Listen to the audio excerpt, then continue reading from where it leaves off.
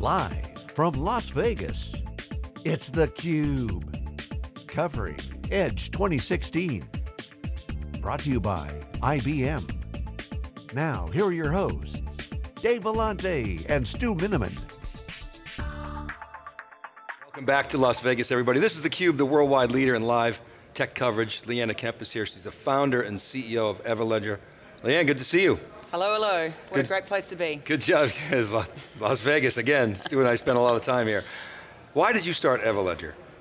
We know some might say it's my midlife crisis, but uh, the reality is I've been in emerging technology for 25 years. In the mid 90s, now I'm giving away my age, I was in uh, radio frequency identification. So at the chip and inlay level, supply chain, tracking. Bit boring, really.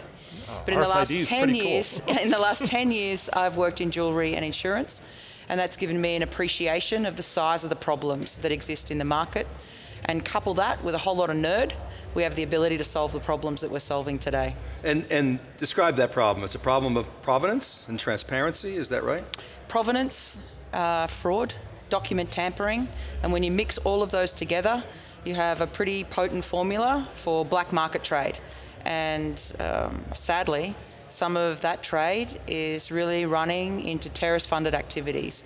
So it's a pretty big problem that I think now is a very real issue that's washing the front pages of every paper on a daily event.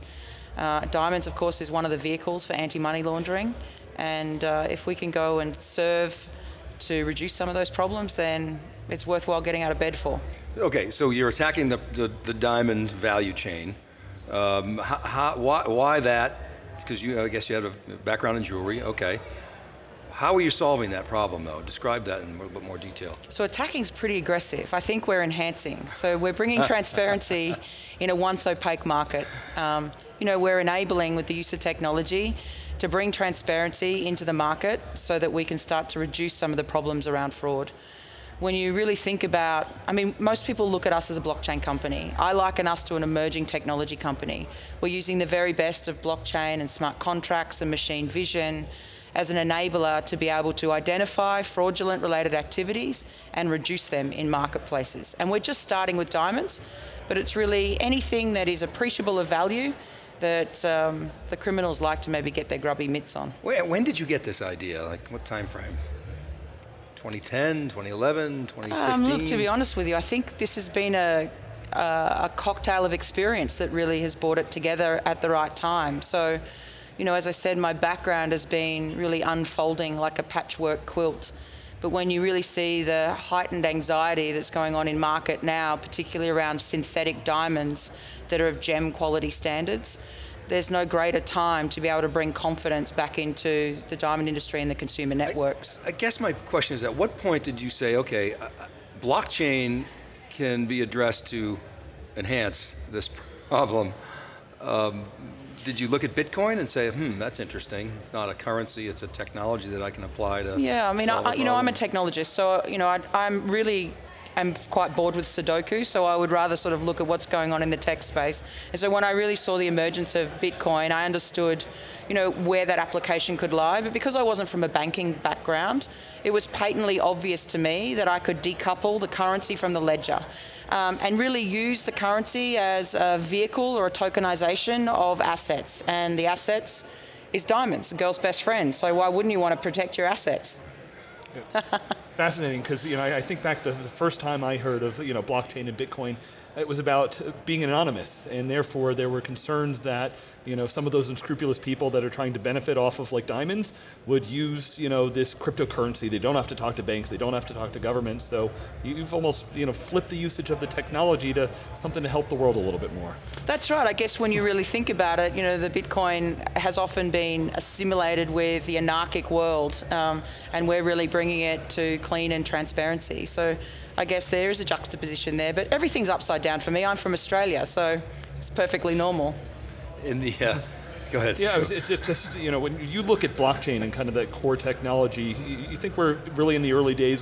What kind of usage do you see out, you know, uh, beyond the ledgers? Are there, there other applications uh, beyond the diamonds that you guys are looking at? Yeah, you know, it's interesting. So in the early 2000s, I worked in WAP, you know, and I was so excited. I thought, wow, this tech is really going to do something. So um, you know, I empowered a team of 30 in Australia and, and wrote out an application. And I felt like nearly six months came into the tech, and all of a sudden I woke up and I went, where the, where the bloody hell did the WAP go? It just disappeared.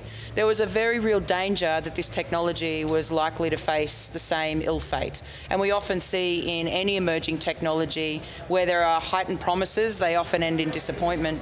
So actually, most of the decisions I've made in a startup, and we're only 18 months old, have really been counterintuitive. You know, when it's the time to put the pedal straight down, I've often held back to really wait to see where the maturity of the technology was going to lie. And, look, and in any emerging technology, and if you're a CEO of a startup, you have to be completely articulate about where the problem is that you're solving. But not only that, you need to take the time to really distill the technology to its purest essence and then enable that to be the potent shot, you know, that goes out first and foremost. And so this is a nascent technology. Um, and maybe, you know, it has the parentage of a multilingual PhD scientist, but the reality is it's only just been born. We're not even nappy fed. We're not even out of our nappies right now. So we need to give it the time to really grow. And we've chosen a niche market. It just so happens that it's a bloody big niche. So what took longer, to, to figure out the problem or the solution? You know, I think, um, you know, the, I don't know, that's a really good question actually. I think the problem for me, I understood quite early, but I just didn't appreciate the size of the problem globally and the extension of that problem into uh, other areas. And really, I think it's taken some time for the technology to be understood. Um, we've taken a view that we like to see ourselves as the custodian of the technology. We don't want to go to market too early. We want to be sure that whenever the message is delivered to market, that it's something we've already delivered, that we have built, that the engineering effort has already been afforded. Um, you know, small acorns grow into mighty oaks. And so for us, it's about ensuring that we take the time to really give the right fertilizer to the growth. And that's a $50 billion problem, you said this morning. Is that right? Is that the. Just in insurance. But we have banks as our clients too. So, you know, we're shooting hoops. So it's, it's so you're saying it's a multiplier of that 50 billion? Of course. Yeah. I mean, multiplier. counterfeit. I mean, counterfeit good, if you extend it into luxury goods, it's $1.7 trillion. And you talked about this, the sort of value chain of rough cut 15 billion and you maybe triple that when it gets polished, almost 50 billion, and then another one and a half X at retail. Where's the, where are the holes in that value chain? Everywhere? I mean, are you seeing fraud occur throughout that value chain? Or? Effectively, you know, we, we, we, we don't have a, um, you know, a visibility of complete provenance through the supply chain. And in fact, it's not just limited to the diamond industry. I mean, I guess the diamond industry has, um, you know, there's the, the allure of luxury, uh, you know, there's the backdrop of affluence, and then of course there's the atrocity of what goes on in terms of, mm. or what used to go on so prolifically in blood diamonds. Um, you know, effectively the industry isn't as burdened with technology as, say, financial services. It doesn't have the legacy of 50 years of technology that it needs to unwind. So when you really consider what's going on in the market today, to bring emerging technology into this space, not limited to blockchain, even enabling new technologies like high definition photographs and machine vision, our marketplace has the ability to consume that technology quite rapidly.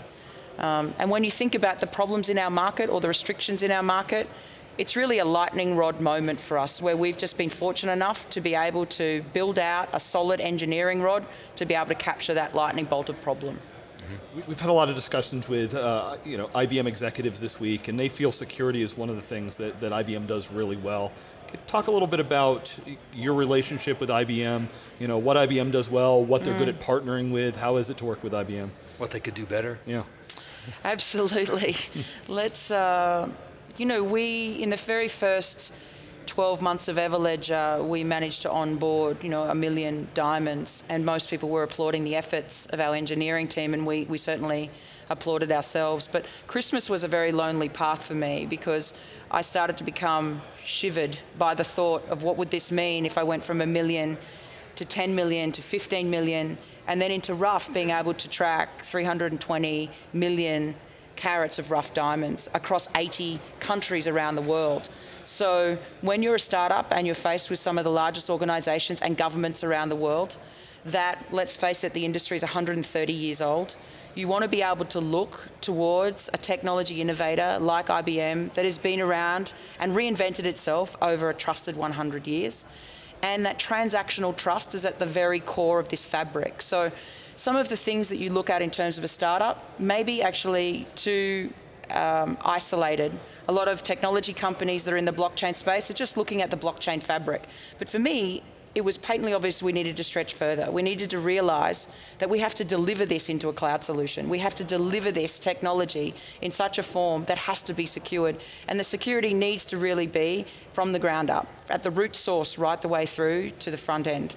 And there's no other partner that's actually doing that. There are other service providers in the space um, that, that, that shall not be mentioned, but there, of course, are just taking whatever tech, nascent technology is being built and putting it into the cloud. IBM has really taken the time to sew together the right security fabric. And that's about scale for you, right? I mean, you wouldn't be able to scale without it. I sleep at night knowing that we have IBM. That, that, like great, as a CEO, one. I sleep at night. So my understanding, there's a container technology that you're using in here. Um, you know, most people, I, th- think of containers is security is one of the holes there. So, uh, you know, how do you feel with the security of containers today? And maybe, maybe you can share a little bit about, you know, what IBM's doing specifically uh, for that. Yeah, I mean, the container services team that we've been working with, and today I had the absolute privilege, it was a diary note moment for me to present on stage with Donna. Um, you know, her background in security has afforded us the ability to really deliver this quite quickly. Um, the work that they have been doing is recognised not only, and I, and I, touched on the surface of, you know, the three markets that are real concern or focus for us is fraud and theft and cyber.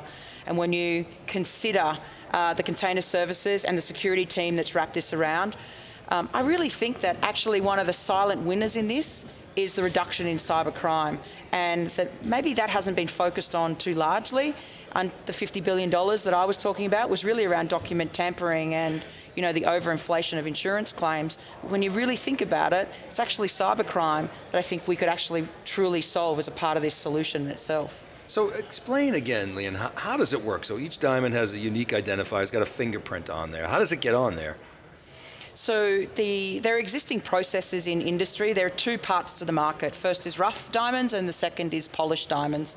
And as diamonds are crossing borders as a part of international trade, um, they're often inspected by gemologists. Uh, those that, of course, have received licenses in the skill of identifying diamonds. But and that's a spot inspection, is that right? Or? Correct, yeah. but there's also actual machinery. So there are certain types of science that have been applied and have been applied for a number of years. And one of the challenges that we faced with ourselves is to IoT enable the diamond pipeline. So some of these machines have been in existence, they're highly calibrated and they have precision. But that data is often black boxed. It's not indeed ledgered or stored for public view or even inter-office view. And so one of the tricks that we've enabled is the ability to take all of those data points, 40 metadata points, as well as the reputation or the expert opinion and lay that data into the blockchain. So we're layering really a reputation score, not only of the person, the machine, but also the diamond and the validity of that diamond. And that can only come um, over time with large aggregated data sets. Okay, and that's, that is your provenance. You said, you said the world's provenance is locked in paper, right? So now you're locking you were it listening. The, to the blockchain, of course. I knew we had to talk to you. we had to listen. Okay, so so all right, so and then can you explain the banking crisis, uh, the liquidity crisis in the, the diamond business? Yeah, What's absolutely. that stem from? It's really affecting the middle part of the pipeline. We have very large mining companies and of course uh, quite substantial retailers, but it's the middle part of the pipeline that's really being caused in terms of a squeeze. And so they are the diamond cutters and polishers, really generational businesses that have perfected the art and the skill of cutting diamonds. Um, it's the middle part of the pipeline that's really being affected at the moment. And as I mentioned, there are two brave Western banks that remain supporting industry. The largest, uh, which has been really in industry for quite some time, is ABN AMRO, and proudly they still remain and Barclays Bank. Um, but we've seen an announcement more recently with Standard being pulling back out of the industry for a lack of transparency and a burden on their balance sheet. Um, this, of course, has come from Basel III and some of the regulations that's been pushed down from them. And if we're able to take certification and extend transparency, but also bring certification to the next level to enable a collateral management system to be built so banks can take the security on the underlying asset rather than just take a balance sheet position. It will lift the burden on their balance sheet. It will give them security of the diamond. And let's face it, diamonds are worth something. Mm. Um, and as I said, when you start to understand the true effect of rough to polished, um, to track the diamond through its life cycle and give security is something that banks are open-minded about. Yes, okay, so it's not a chicken and egg problem, it's a transparency begets liquidity. Is that right? That's the premise, anyway, yeah. that you're testing, basically making that bet with your company. We don't have much time, but I want to ask you about your company. You're an entrepreneur. Um, you started the company, you said 18 months ago. Funding, VC, you know, give us the, the lowdown. Sure, sure, sure. So, um, I mean, I came into London in October of 2014, and I was desperate to talk to insurers. And so, one of the largest insurers in the London market is Aviva, and they had a hackathon at Google. So, I thought, hey, this would be all right. I'm just going to Trojan horse the event and see if I can have a talk to the CFO and uh, COO. So I went there, they opened up some APIs, and because I, of course, had a technical background, I thought, those APIs are hopeless. There's not much I can do with that. But if you want to solve some of the problems here, this is what you can do. You can take diamonds, take certification, and put it on the blockchain as a way to reduce fraud. And at that hackathon, I was awarded the Innovation Prize, but the managing director of Barclays Techstars was one of the judges and came to me and invited me to uh, join them as a part of their accelerator in London, which began in March 2015. And of course, I thought, this is crazy. Why would I want to do that? Why would I want to be in London with a bank? It doesn't really make too much sense. And let's face it, I mean, Australia is a much nicer country to spend your holidays in rather than London. But in any event, I returned and uh, participated as a part of the Barclays Accelerator and have been supported through the process uh, of the acceleration. But Barclays is both a bank and an insurance company in Africa. So uh, the penny dropped and we put our head down we wore some letters off the keyboard, and Everledger was born. And away we go. And so, so Barclays funded in part. Uh, Barclays the company, in the Techstars Accelerator program have a seed funding event, um, which is a part of the acceleration program for startups if you're chosen. Uh, and we were fortunate enough to be chosen. And since that time, um, we've been we haven't disclosed who uh, who one of our backers are, okay. but we will in time.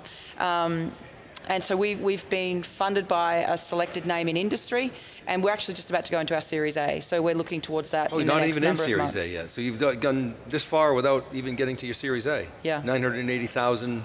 Well, we have revenue. So yeah. this is my last startup. I had to go through an intervention with my family to enable me to be here. So this is this my is last. It. We've heard I that promised, before. Right? No, it's true. It's true. uh, opportunities beyond diamonds, or is that just getting too ahead of our Diamonds, watches, art, fine wine, um, you know, and I'm completely empowered by how do we bring what the diamond industry did so well in the reduction of uh, blood diamonds and bring ethical trade really to the forefront of the mind of the consumer and also the mind of the financial services market. So, you know, for me, it's really around that part of the world. If that nexus point comes together, then I'll keep getting out of bed for it. Awesome. Great story. Uh, impressive entrepreneur. Thanks for coming yes, on the thank cube. You. London's not so bad. keep, keep, comment? no, London's probably watching. All right, thanks again. Keep right there, everybody. With Stu and I, will be back with our next guest. We're live from IBM Edge in Las Vegas. We'll be right back.